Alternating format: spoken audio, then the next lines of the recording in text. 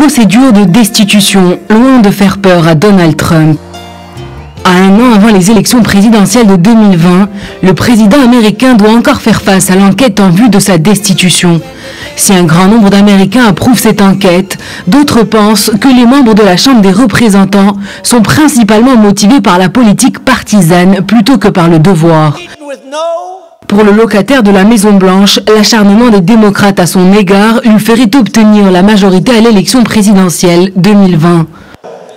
And now corrupt politicians Nancy Pelosi et maintenant des politiciens corrompus tels que Nancy Pelosi et Adam Schiff, mais aussi les médias continuent avec cette enquête de destitution. Je n'ai jamais pensé pouvoir être impliqué. Le mot impeachment est pour moi un gros mot. C'est un accord totalement bidon. Les démocrates le savent, tout le monde le sait. Et c'est pour cela que nous n'avons jamais eu un soutien comparable à celui qu'on a aujourd'hui. And that's why we've never had greater support than we have right now. It's true. Assurance maladie, port d'armes, immigration. À un an du scrutin, plusieurs candidats démocrates tentent de faire un virage à gauche à leur parti.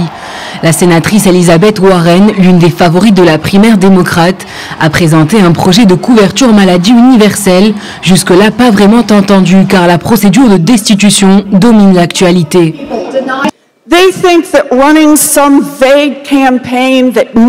Ils pensent que mener une campagne vague qui propose des solutions approximatives est la clé. Mais si tout ce que nous pouvons promettre est de continuer comme Donald Trump, alors les démocrates vont perdre. Nous sommes gagnants lorsque nous proposons des solutions pour résoudre les problèmes des citoyens.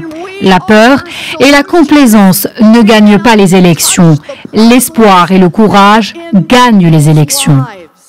Fear and complacency does not win elections. Pour l'instant, le président américain reste très populaire auprès de sa base, mais l'affaire semble l'avoir affecté. L'enquête en vue de la destitution du président est ouverte. On ne sait pas combien cette investigation va prendre, alors que les premiers votes de la primaire démocrate se dérouleront début février.